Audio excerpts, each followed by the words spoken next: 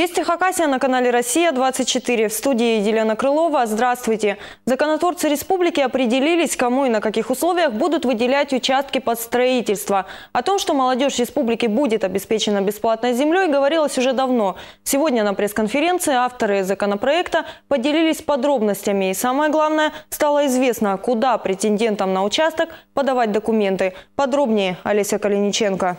Согласно новому законопроекту, принятому 22 мая, подать заявку на получение участка может семья, возраст супругов от 18 до 35 лет, а также молодые специалисты, в услугах которых нуждается муниципальное образование.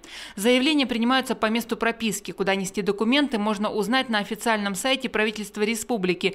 Там необходимо перейти на страницу молодежного центра стратегических инициатив, и уже здесь появится долгожданный раздел «Земельные участки молодежи» с подробной информацией для всех районов республики республики.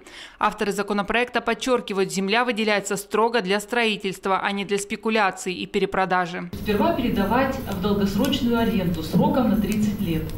А вот срок этот 30 лет позволит брать ипотечные кредиты. Об этом Ильшат Инсафович подробнее потом вам может рассказать. Но как только будет построен дом, то есть как только появится недвижимость, сразу же передается в собственность. Год, э, через год появляется дом, земля передается в собственность. Через 5 лет, через 5 лет. То есть механизм ясен. Арендная плата будет равна земельному налогу, то есть когда дом будет построен и участок перейдет в собственность, сумма платежа останется прежней. Естественно, что большинство молодежи живет в Абакане. Обеспечить здесь всех желающих будет сложно. На помощь должны прийти соседи республиканской столицы. Соглашение о сотрудничестве уже подписано. Это соглашение дает право жителям столицы участвовать в этой программе на Алтайских землях, на Усть-Абаканских землях, на Черногорских землях. И наоборот. Не надо переживать абаканской молодежи, что мы их бросим на произвол и не дадим земли. Нет. В рамках проекта будет действовать и специальная ипотечная программа. Ставка около 12%. Первоначальный взнос не требуется. Параллельно банки подключили к работе строительные фирмы республики. Уже разрабатываются недорогие типовые проекты домов с готовой проектно-сметной документацией. Их в случае оформления кредита и заключения контракта со строителями будут предоставлять молодежи бесплатно. В законе прописано и создание инфраструктуры. В случае стопроцентной реализации программы на строительство дорог, электроснабжение, коммуникации реализации понадобится около 7 миллиардов рублей. Первая тысяча участков будет выделена уже в этом году. Олеся Калиниченко, Антон Новожилов, Вести, Хакасия. И сегодня в правительстве подвели итоги минувшей зимы. В видеоконференции приняли участие главы районов и городов Хакасии. Республика перезимовала без особых потрясений. Зафиксировано 70 случаев, когда жители республики испытывали трудности с тепло, водо и электроснабжением. Чаще всего в этом году не выдерживали трубы водоснабжения – 23 серьезных порыва. На заседании Виктор Зимин призвал коллег отходить от практики ежегодного латания дыр и разработать для каждого муниципалитета программу реконструкции коммунальных сетей с понятными капиталовложениями. Водоводы все у нас 70-х, 80-х годов – Давайте так, наверное, сделаем. Я прошу вас, где-нибудь в течение трех-четырех недель, ну, месяца, посмотрите программу, собрать заявки. Понятно, что мы сто процентов не сможем, но программно, если программно мы будем смотреть на эти вещи, мы за 3-4 года можем сети привести к нормальному состоянию. Подготовка к новому отопительному сезону должна начаться в ближайшее время. Деньги районам и городам выделены. Помимо стандартных ремонтных работ на котельных, в новом отопительном сезоне в республике будет дополнительная подушка безопасности. Уже приобретены и размещены на базе Хакрес водоканала две мобильные котельные. В случае аварии на теплоисточнике котельная на колесах может снабжать теплом 7 девятиэтажек. Это позволит избежать размораживания системы на время устранения причин аварии. К освоению новой техники сотрудники сотрудники Хакрис водоканала приступят в ближайшее время. Сейчас формируются такая, такие рабочие бригады, кто непосредственно будет дежурить и выполнять все мероприятия по врезке. И буквально с следующей недели мы уже начнем по муниципалитетам проводить тренировки по поручению главы, чтобы были четко отработаны механизмы взаимодействия как муниципальной власти, так и непосредственно Хакрис водоканала, кто будет производить подключение. Небывалым урожаем овощей планируют удивить в этом году аграрии республики, но не все вместе взятые, а в конкретном овощеводческом хозяйстве. Фермеры Устябаканского района считают, чтобы достичь отличных результатов, надо не бояться экспериментировать. Для этого покупают не только новую технику, но и используют научные достижения. В новинках полеводства разбирался Алексей Гончаренко. И этот метод по сравнению с привычной технологией и обычным урожаем принесет, как ожидают в хозяйстве, особенные плоды. В прошлом году экспериментировали на небольшой площади и, к примеру, лук, высаженный семенами сразу в грунт, на опытных полях дал головку весом в 300-400 граммов.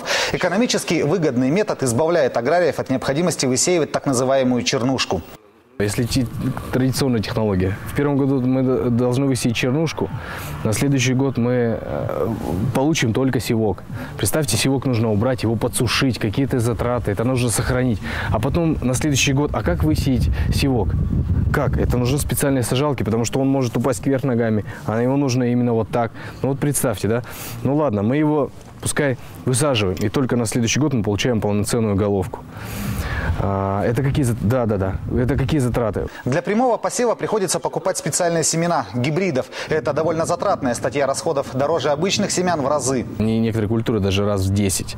Если, например, этот килограмм сорта стоит, например, там, ну, тысячу рублей, семена капусты, то гибрид это будет порядка, например, даже доходит до 40 тысяч. Но ведь и капусту, выращивая по такому методу, тоже экономят. Нет необходимости держать теплицы для рассады, а потом пересаживать ее в открытый грунт. Мы решили уйти от э, периода рассадного.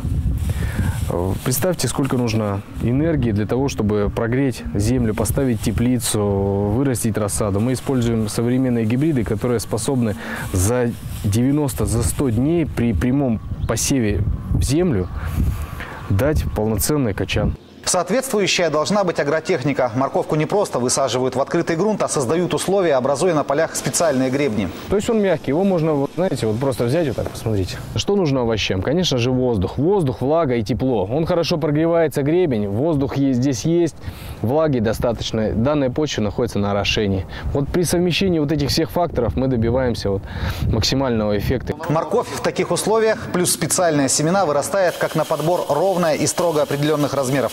И об этом в хозяйстве известно не на уровне теоретических знаний, а из собственного опыта, потому что и с морковкой в прошлом году был эксперимент. Идеально ровная и что самое интересное, вот 18 сантиметров. 20 уже не годится. 20-22, вот нет, нам такую не надо. Вот гибрид, он ровно до 18 дорастает и останавливается. Но если его не перерастать, все грамотно сделать вот в технологии, не нарушать, вот он остановится, и вот выкопаете, вот я не обманываю, да, вы выкапываете, и вот она одна к одной. Такой товар на прилавках дороже. На то и расчет сэкономить на технологии и получить прибыль на результате. И культура выше. А главное, без экспериментов невозможно развиваться, говорит глава хозяйства. Постоянно экспериментируем. То одно, то другое, то третье. Все постоянно э, что-то внедряем, что-то делаем, чтобы э, более-менее культура развивалась. Наилучшее качество, чтобы, как говорится, населению преподать не только э, урожай, но и хороший, качественный урожай. В планах хозяйства на этот год реализация крупного проекта по строительству овощехранилища. Только по предварительным подсчетам затраты 40 миллионов рублей. И без финансовой поддержки сделать это будет очень сложно. 30% от суммы, говорят фермеры, могут дать основание верить в успех задуманного.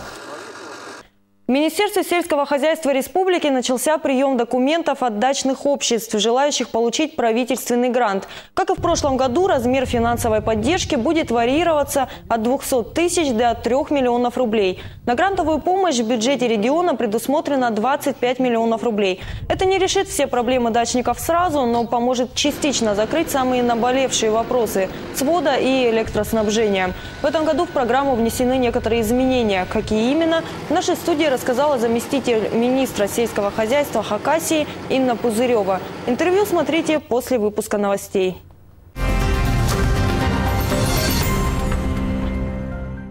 Накануне в селе Аршаново состоялось очередное заседание экспертно-консультативного совета. Напомним, так представители Минрегиона, местные жители и все заинтересованные обсуждают перспективы строительства Аршановского разреза. Извешивают все за и против.